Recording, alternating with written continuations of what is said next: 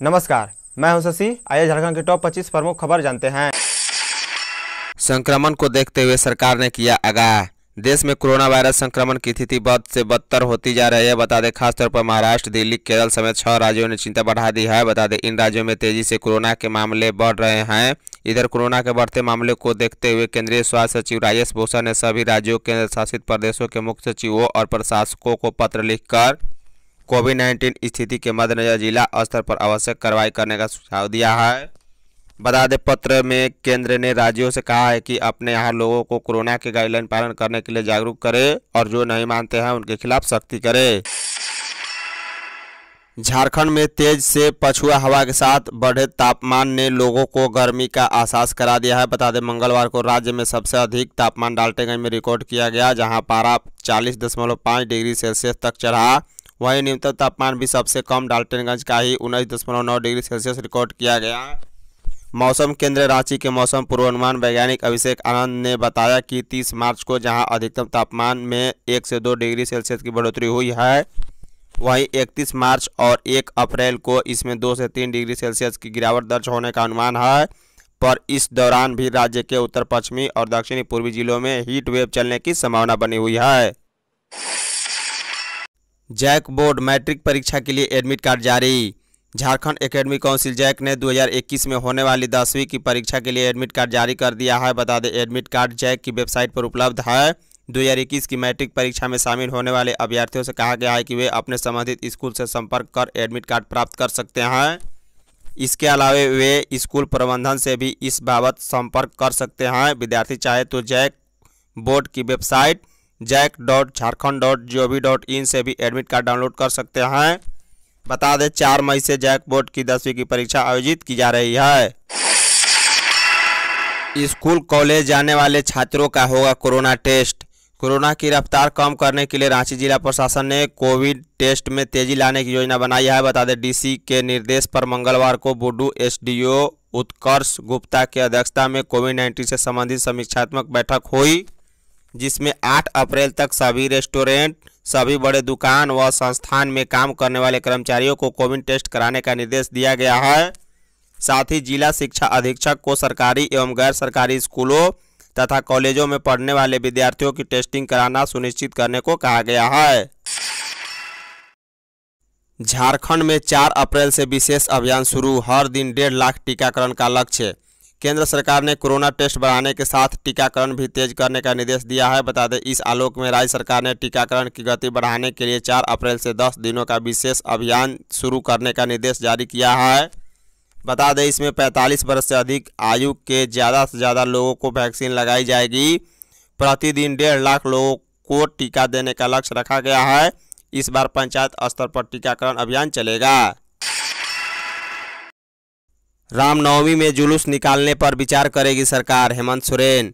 सरहुल पूजा में शामिल होने आए मुख्यमंत्री हेमंत सोरेन ने रामनवमी पर्व में जुलूस निकालने को लेकर विचार करने की बात कही है। उनके इस आश्वासन के बाद रामनवमी महासमिति के सदस्यों में नया उत्साह पनप गया है। बता दें, मंगलवार को पैतृक गाँव नेमरा में मुख्यमंत्री हेमंत सोरेन अपने परिजनों के साथ पूजा में शामिल हुए थे। इसी दौरान रामगढ़ के रामनवमी महासमिति के नौ सदस्य उनसे मिलने पहुँचे। बता दें, समिति के सदस्यों ने मुख्यमंत्री को बताया कि मंगला जुलूस निकालने के लिए उन लोगों ने राज्यपाल को भी ईमेल भेजा था। रघुवर दास घोटाले की जाँच कराए हेमंत सरकार, सरयू राय। सरकारी महकमों में घोटालों को उजागर करने के लिए मशहूर जमशेदपुर पूर्वी के विधायक सरयू राय ने वर्ष 2016 में राज्य स्थापना दिवस समारोह में बड़े पैमाने पर अनियमितता का आरोप लगाते हुए मुख्यमंत्री हेमंत सोरेन को जाँच के लिए पत्र लिखा है। उनका दावा है कि रघुवर दास की संलिप्तता इसमें है। सरकार, विधानसभा की कमेटी, एसीबी या फिर किसी बाहरी एजेंसी से पूरे मामले की जाँच कराए। आपको बता दें कि राज्य स्थापना दिवस 2016 के अवसर पर स्कूली बच्चों के बीच प्रभात फेरी के अवसर पर बांटने के लिए पाँच करोड़ रुपए की टी शर्ट और पैंतीस लाख रुपए की ट्रॉफी की खरीद में अनियमितता हुई है। झारखंड में एक साल में एक लाख तेईस हज़ार लोग संक्रमित। आज ही के दिन पहला मरीज़ मिला। झारखंड में कोरोना का संक्रमण मिलने का एक साल पूरा हो गया है। बता दें, आज ही के दिन 31 मार्च को झारखंड में कोरोना का पहला मरीज़ मिला था। बता दें, पहला मरीज़ रांची के हिंद पीढ़ी में मिलने के बाद यहाँ लगातार कोरोना का संक्रमण बढ़ता गया।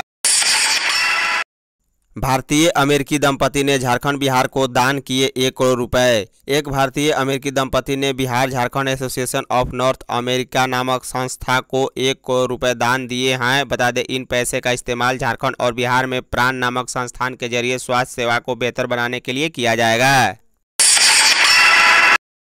झारखंड में चार सौ अठारह नए संक्रमित की पुष्टि हुई है, जो रांची से दो सौ बासठ, पूर्वी सिंहभूम चौंतीस, कोडरमा इक्कीस, गुमला सोलह, बोकारो बारह गोड्डा ग्यारह जामतला दस, साहिबगंज नौ, धनबाद आठ, देवघर खूंटी लोहरदगा छः छः, पश्चिमी सिंहभूम, पलामू चार चार, रामगढ़ तीन, गढ़वा दो, दुमका हजारीबाग लातेहार, सिमडेगा से एक एक मरीज़ मिले हैं।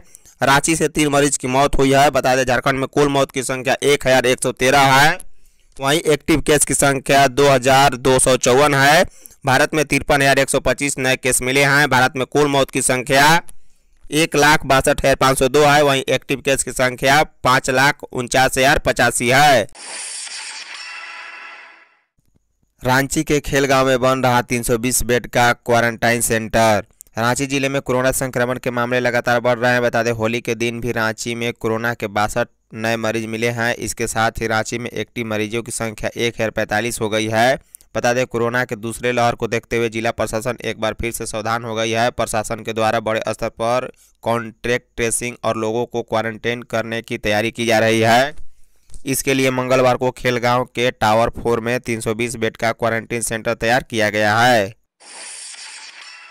नेशनल जूनियर महिला हॉकी तीन अप्रैल से आगामी तीन अप्रैल से ग्यारहवें नेशनल जूनियर महिला हॉकी चैंपियन का आगाज़ होगा। बता दें, इसी के मद्देनजर सिमडेगा में विभिन्न राज्यों से टीमें पहुँचना शुरू हो गई है। इधर मंगलवार को सिमडेगा में हॉकी चंडीगढ़ की टीम पहुँची। बता दें, सिमडेगा हॉकी संघ ने मेहमान खिलाड़ियों का पारंपरिक तरीके से भव्य स्वागत किया। बस से खिलाड़ियों को उतरने के साथ गाजे बाजे के साथ स्वागत किया गया। रांची में आधा किलो सोने के जेवरात लूट में चार धराए। रांची के अरगोड़ा इलाके में बीते शुक्रवार की सुबह हुई आधा किलो सोने के जेवरात लूट मामले का पुलिस ने खुलासा कर लिया है। बता दें, मामले में चार अपराधी पकड़े गए हैं। इनके पास से लूट के जेवरात भी बरामद कर लिए गए हैं। बता दें, पकड़े गए अपराधियों में पीएलएफआई से जुड़े उग्रवादी भी शामिल हैं। इन अपराधियों के पकड़े जाने से पूर्व की कई घटनाओं का भी पर्दाफाश हुआ है। सीएम हेमंत पैतृक गाँव नेमरा में बाहा पूजा में हुए शामिल। मुख्यमंत्री हेमंत सोरेन मंगलवार को बाहा पूजा अनुष्ठान में भाग लेने के लिए अपने पैतृक गाँव रामगढ़ ज़िले के गोला प्रखंड अंतर्गत नेमरा गाँव पहुँचे। बता दें, शाम के करीब चार बजे रांची से सड़क मार्ग से नेमरा पहुँचते ही जिला प्रशासन की ओर से मुख्यमंत्री को गार्ड ऑफ़ ऑनर की सलामी दी गई। इससे पूर्व झामो सुप्रीमो, पूर्व मुख्यमंत्री व राज्यसभा सदस्य शिबू सोरेन, मुख्यमंत्री हेमंत सोरेन की पत्नी कल्पना सोरेन सहित परिवार के अन्य सदस्य भी भा पूजा में शामिल होने निमरागा पहुँचे। जेपीएससी में वेटनरी डॉक्टर के पदों पर भर्ती। झारखंड लोक सेवा आयोग ने वेटनरी डॉक्टर के पदों पर भर्ती के लिए योग्य व इच्छुक उम्मीदवार से आवेदन आमंत्रित किए हैं। इस भर्ती के लिए उपयुक्त अभ्यर्थी जेपीएससी के ऑफिशियल वेबसाइट जेपीएससी पर जाकर ऑनलाइन आवेदन कर सकते हैं। बता दें, अंतिम तिथि सत्रह अप्रैल 2021 है। रामनवमी को लेकर सांसद व जिला प्रशासन आमने सामने। हजारीबाग की ख्याति प्राप्त रामनवमी को लेकर सांसद व जिला प्रशासन आमने सामने आ गए हैं। बता दें, सांसद जयंत सिन्हा ने एक तरफ़ सरकार की अनुमति मिलने या नहीं मिलने पर भी कोविड प्रोटोकॉल का पालन करते हुए शांतिपूर्वक जुलूस निकालने की बात कही है। वहीं जिला प्रशासन ने रामनवमी जुलूस को छोड़ मंगला जुलूस भी न निकालने की हिदायत दी है और जुलूस न निकालने को लेकर आदेश भी जारी किया है। लोहरदगा में पर्यटन स्थलों का होगा विकास, उपायुक्त। लोहरदगा उपायुक्त दिलीप कुमार टोपो की अध्यक्षता में मंगलवार को जिला पर्यटन संवर्धन समिति की बैठक हुई। बैठक में गत बैठक की कार्यवाही की संपुष्टि, कार्यान्वित योजनाओं की समीक्षा की गई। साथ ही वित्तीय वर्ष 2020-21 के तहत प्राप्त आवंटन के लिए पर्यटन संवर्धन समिति से योजनाओं का चयन, पर्यटन स्थल के संचालन एवं रख रखाव जिला मुख्यालय में जिला पर्यटन केंद्र स्थापना समेत अन्य बिंदुओं पर परिचर्चा की गई। होली की मस्ती में सराबोर रही विधायक अम्बा बड़कागांव विधायक अम्बा प्रसाद पिछले अड़तालीस घंटे से होली की मस्ती में डुबकी लगा रहे है। बता दें, इस मस्ती में वह यह भी भूल गई है कि कोरोना काल है और इसके लिए सरकार ने गाइडलाइन भी जारी किया है। सोशल डिस्टेंसिंग भंग न हो, इसके लिए कई इलाकों में जिला प्रशासन के द्वारा एक सौ चौवालीस भी लगाया गया था। कहीं भी सार्वजनिक कार्यक्रम का आयोजन नहीं होना था। यहाँ तक कि हाल में भी आयोजित होने वाले कार्यक्रमों में क्षमता से 50 फ़ीसदी कम ही लोगों को आने जाने की इजाज़त थी। लेकिन मंगलवार को विधायक अम्बा प्रसाद मस्ती में सरबोर रही। सीता सोरेन ने किसान कर्ज माफ़ी को लेकर किया ट्वीट। झारखंड मुक्ति मोर्चा से जामा विधायक सीता सोरेन ने किसानों की ऋण माफ़ी में आ रही समस्याओं को लेकर मुख्यमंत्री हेमंत सोरेन का ध्यान आकृष्ट कराया है। साथ ही इस मामले को संज्ञान में लेकर आवश्यक कार्रवाई करने का आग्रह किया है। बता दें, सीता सोरेन ने मंगलवार को ट्वीट कर कहा कि राज्य के बोकारो के चास स्थित पंजाब नेशनल बैंक के शाखा से ऋण लेने वाले किसानों का कर्ज अब तक माफ़ नहीं हुआ है। होमगार्ड जवानों का धरना जारी। Jharkhand home guard welfare association के बैनर तले होमगार्ड जवानों का धरना तेईसवें दिन भी जारी रहा। धरना स्थल पर मंगलवार को प्रदेश सचिव दिलीप तिर्की पहुँचे। तिर्की ने होमगार्ड जवानों की मांग को सुनने के बाद मुख्यमंत्री से वार्ता करने का आश्वासन दिया। बता दें, Jharkhand home guard welfare association प्रदेश कमेटी और जिला सिमडेगा कमेटी ने प्रदेश सचिव दिलीप तिर्की का आभार व्यक्त करते हुए कहा कि वे मुख्यमंत्री तक हमारी मांगों को पहुँचाने का काम करेंगे। झारखंड कांग्रेस के प्रदेश अध्यक्ष, राज्य के वित्त एवं खाद्य आपूर्ति मंत्री रामेश्वर उरांव ने मंगलवार को कहा कि असम के सिलचर ज़िले के विभिन्न विधानसभा क्षेत्रों और बराक घाटी में चुनाव प्रचार के दौरान यह आभास हुआ कि इस बार असम में कांग्रेस गठबंधन की स्थिति अच्छी है। असम में पार्टी के नेतृत्व में सरकार बननी तय है। बता दें वे, असम के बराक घाटी के पंद्रह विधानसभा क्षेत्र में चुनाव प्रचार कर रांची लौटे हैं। सरहुल शोभा यात्रा को लेकर आदिवासी संगठन गोलबंद कोविड के बढ़ते मामलों को देखते हुए सरकार ने सभी प्रकार के सामूहिक आयोजन व जुलूस पर रोक लगा दी है। हालाँकि सरहुल शोभा यात्रा को लेकर आदिवासी संगठन गोलबंद हो रहे हैं। सरकार व प्रशासन पर दबाव बनाने के लिए प्रेशर पॉलिटिक्स भी शुरू हो गई है। बता दें, उनकी मांग है कि जब कई तरह के आयोजन व सरकारी कार्यक्रम किए जा रहे हैं और राजनीतिक कार्यक्रम भी किए जा चुके हैं तो वर्ष में एक बार जनजातीय समुदाय के महापर्व को लेकर निकाली जाने वाली शोभा यात्रा पर रोक क्यों? धन्यवाद।